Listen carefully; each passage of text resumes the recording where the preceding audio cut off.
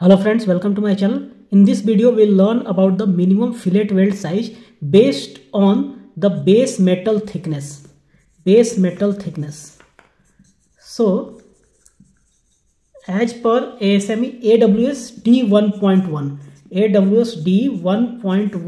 D1.1 D1.1 table number table 7.7 so as in AWS D1.1 table 7.7 they have given the minimum fillet weld size as per the base metal thickness. So AWS D1.1 is a code for structure. So what is there in this table? Let's learn.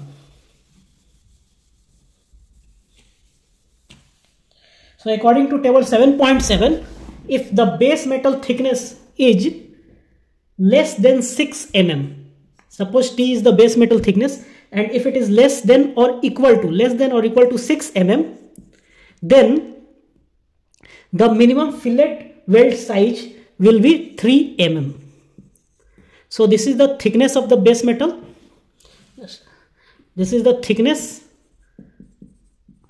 thickness of base metal and this is the fillet weld size I'll simply write it as size or weld size, fillet weld size.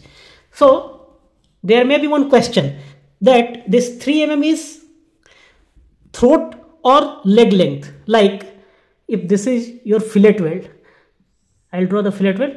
Then the distance from the root to the toe is called as leg length and it is denoted by Z, Z or leg length. And the distance from the root to the face of the weld is called as the throat and it is denoted as A. So this is the throat. Now the weld size which is mentioned in AWS D1.1 is the leg length means if the base metal thickness is less than or equal to 6 mm then the leg length will be 3 mm.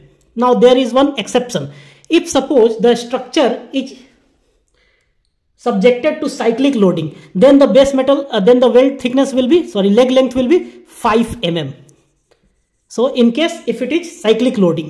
Now the second condition is if t is more than 6 mm if t is more than 6 mm but less than or equal to but less than or equal to 12 mm then in that case the weld size will be 5 mm the weld size will be 5 mm. This is the minimum weld size, not maximum. So minimum it should be 5 mm. Then the third case is if thickness is more than 12 mm. If thickness is more than 12 mm but less than or equal to 20 mm.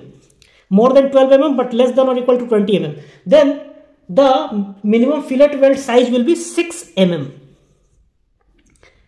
And the last condition is if thickness is greater than 20 mm if thickness is greater than 20 mm thickness is more than 20 mm then the minimum fillet weld size will be 8 mm.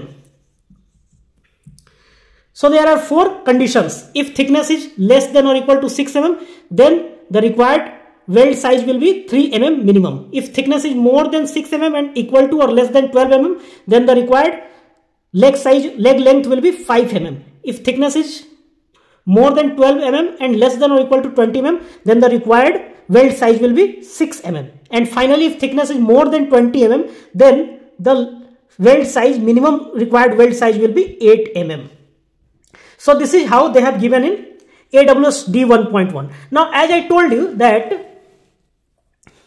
this weld size is nothing but the leg length. Now if you have leg length then how you can calculate the throat suppose uh, 8 mm is your leg length. If leg length is leg length is 8 mm and you have to calculate the throat. Then formula is a equal to 0.707 into z. A is throat. A is the throat and z is the leg length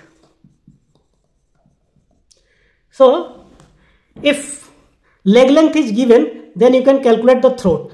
Another formula is also there. If suppose leg throat is given, then if throat is given, then you can also calculate leg. Like if throat is given and if you have to calculate the leg, leg that is Z, so Z is equal to 1.414 into A. So we have both the formulas. If you know the leg length, then you can calculate throat by multiplying it from 0.707. And if you know the throat, you can calculate the leg length by multiplying the leg, throat into 1.414. So this is how you can calculate leg and throat. Friends, I hope you like this video. Thank you very much.